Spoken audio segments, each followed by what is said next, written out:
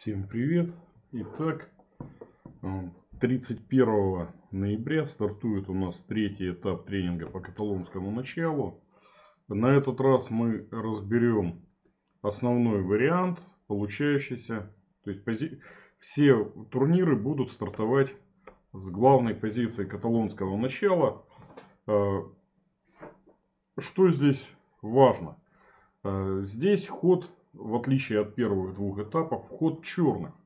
То есть черные могут выбрать самое популярное продолжение DC, могут выбрать закрытые линии C6, B6, могут э, вообще попытаться перейти э, в голландскую защиту. Ко всему этому белые должны быть готовы. Это реально самая популярная позиция каталонского начала. А,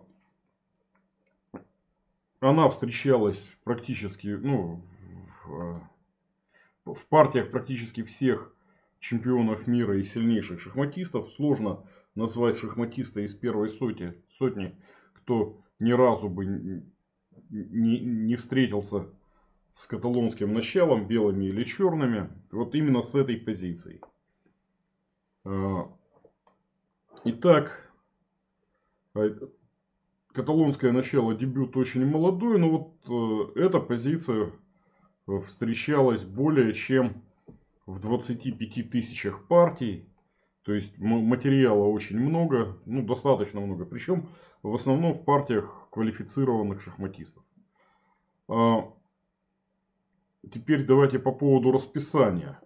А, тренинг стартует 31 числа 31 октября в воскресенье, как обычно, турниром в 17.00 Москвы, турниром с контролем 3 плюс 2. А, далее до пятницы шахматисты будут изучать материалы. Материалы будут поступать в процессе. То есть самый первый ролик а, будет выслан а, в, сразу после окончания турнира участникам тренинга. Ну и в пятницу э, будут ответы на вопросы. Э, в отличие от всех предыдущих тренингов, э, я здесь добавил еще один турнир с контролем 7 плюс 2. Очень много важных позиций предстоит пройти, изучить. И поэтому лишний, более-менее серьезный турнир и дополнительный разбор партий, мне кажется, пойдут на плюс – на цену это не повлияет. То есть цена та же самая.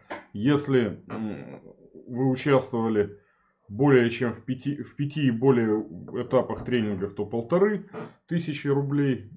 Если менее, менее пяти, то две тысячи за весь тренинг. А, быстрее познакомиться с идеями едва ли идеями варианта и опробовать их на практике едва ли возможно. Э, если вы заинтересовались, пишите на электронную почту. Вот она надо мной. Вот. Э, до встречи.